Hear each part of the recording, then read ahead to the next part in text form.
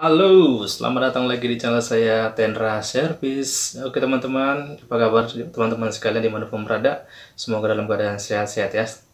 Oke teman-teman, sebelum kalian menonton video saya yang satu ini, tolong dibantu klik tombol like, subscribe, share, dan komentar sebanyak-banyaknya. Oke teman-teman, selamat menonton video saya yang satu ini.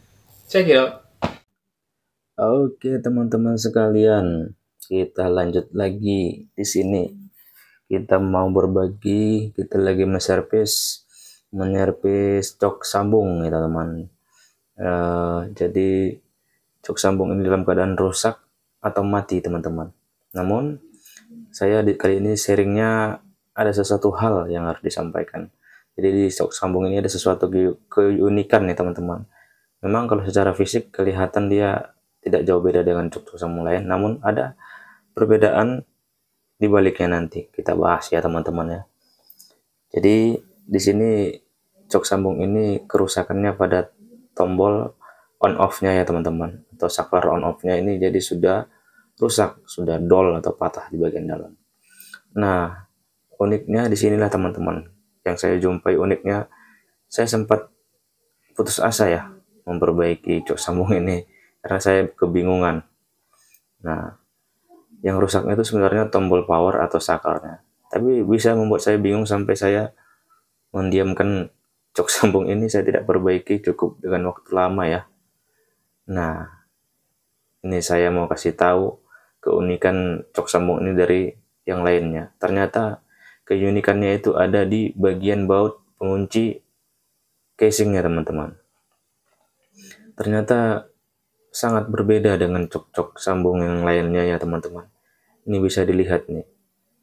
Kalau yang di bagian belakang ini memang biasa bautnya, baut plus ya. Nih, baut plus ini coba kita buka dulu ada dua baut plus. Ini tempat terminal penghubung penghubung kabelnya ya. Ini penutup terminal penghubung kabel di bagian atas. Coba kita buka ya. Nah, di sini tempat ininya ya, terminal penghubung kabel listriknya. Di situ tidak ada lagi baut baut untuk casingnya itu hanya baut terminalnya saja. Nah, di sinilah kebingungan saya awalnya. Bagaimana ya kira-kira teman-teman? Bagaimana kira-kira untuk membuka baut ini? Karena dia obengnya khusus ya, itu bautnya segi empat ya. Itu bautnya segi empat, jadi saya bingung cara membukanya karena saya tidak punya obeng ini. Ini sebenarnya obeng khusus ya, tidak pada umumnya ini khusus teman-teman. Jarang ditemukan seperti ini. Baut persegi ya. Ini coba dilihat itu baut persegi petak ya teman-teman. Ya jadi saya bingung sempat bingung. Akhirnya saya diamkan. Ya saya cari-cari servis yang lain. Hingga akhirnya iseng-iseng ya tidak ada kerjaan saya coba lagi. Dan saya temukan triknya.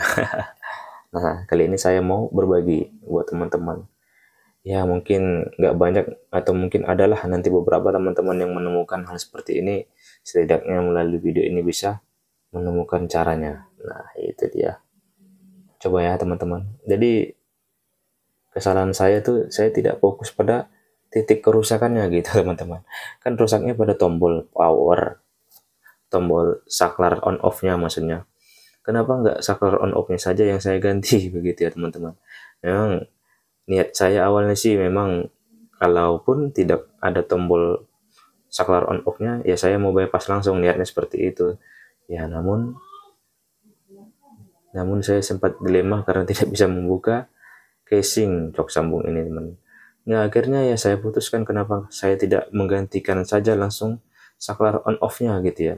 Tinggal dicungkil aja gitu ya. Nah itu.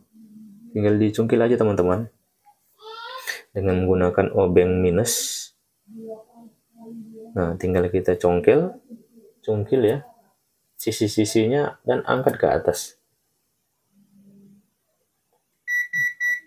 Nah bisa dilihat itu akhirnya kan bisa kebuka teman-teman.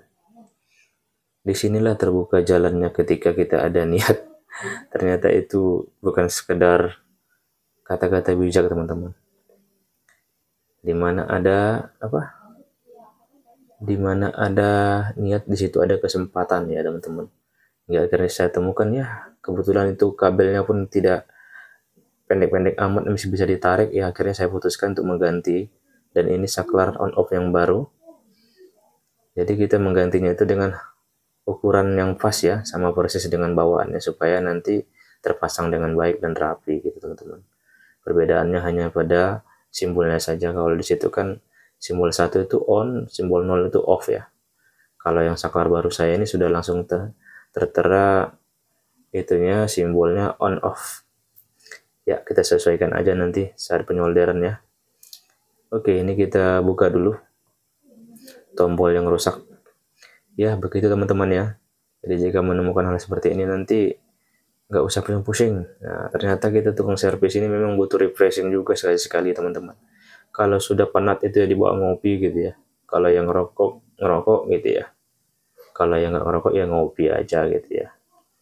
Jadi improve-nya itu ya seperti inilah teman-teman. Terkadang-kadang pusher itu ya saking penatnya atau saking pusingnya eh, melakukan servis ya hingga akhirnya mendapatkan suatu servisan bisa jadi mentok ya padahal udah harusnya gampang gitu ya. Cuman karena sudah waktunya istirahat dipaksakan ya begini jadinya. Ya ini kita timai dulu ya saklarnya supaya nanti kabelnya bisa ini. Terkadang saking fokusnya pun jadi buyar gitu ya ambiar jadinya gitu. Kalau kata orang teman kita orang Jawa buyar dan ambiar gitu ya tapi kalau gitu, kalau orang Medan Medan bilang itu bukan buyar apa istilahnya ya?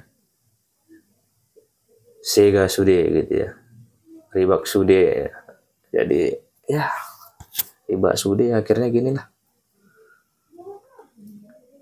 Bisa bisa pusing hanya perbaiki cok sambungnya teman-teman.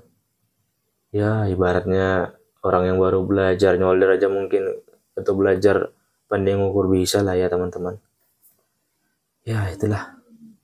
Tidak semua pekerjaan itu harus diburu-burukan. Nah itu dia. Butuh inspirasi. Oke ini sudah selesai. Coba kita testing. Kita lihat apakah ambiar atau riba sude gitu ya. Oke kita colokin kabelnya. Kita lihat apa yang terjadi. Ini masih posisi off ya saklarnya coba kita tes dulu. Colokin kabelnya. Ya. Walah ini benar-benar ambiarnya teman-teman. Posisi saklar off kok malah lampunya hidup. Ini nih yang dibilang tadi terlalu fokus. Eh akhirnya ambiar ini. Ini kayaknya saya salah menempatkan kabel inputnya ya teman-teman. Tapi coba tak ukur dulu lah.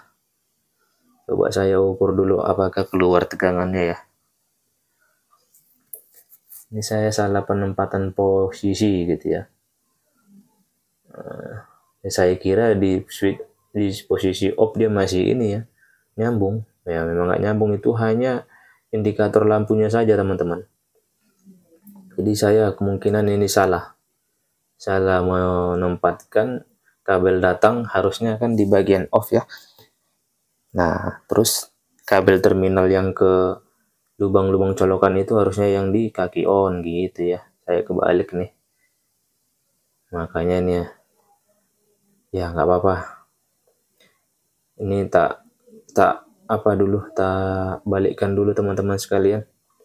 Posisi kabel datang dan kabel outgoingnya ya. Kabel outgoing incomingnya. Kita pindahin dulu saya salah pasang. Ini akibatnya jadi on ya. Nanti pusing nih nanti yang makainya nih. Ini kok ditekan off kok malah hidup gitu ya. Ya udah ini kita coba saya apa aja ya. Saya pindahkan secara offline. Oke ini sudah clear. Udah saya pindahin ya. Uh, ya biar jadinya ya tiba terlalu fokus. Ini kita coba udah saya pindahin kabel incoming di off dan outgoing. Nah berhasil. Ah mantap jiwa mempesona. Sukses teman-teman sekalian jadi aman sudah aman ya jadi itu juga sih perlu diperhatikan ya kabel incoming itu di bagian kaki off yang tulisan off dan kaki outgoing atau kaki yang kecolokan itu harusnya di kaki on. Ah, oh, dia. Kita lihat apakah sudah keluar 220 sekian. Nah, itu dia 233 volt AC keluar berhasil. Oke teman-teman, mantap jiwa mempesona. Semoga bermanfaat ya. Sharing kali ini bagi teman-teman sekalian di mana pun dia berada. Semoga bermanfaat video saya ini. Jangan lupa diklik tombol lonceng subscribe-nya. Terima kasih. Salam dari saya. Salam servis dari servis. Horas dari saya. Terima kasih. Bye. Jangan lupa ngopi dulu ya teman-teman ya. Ini udah selesai kita ngopi.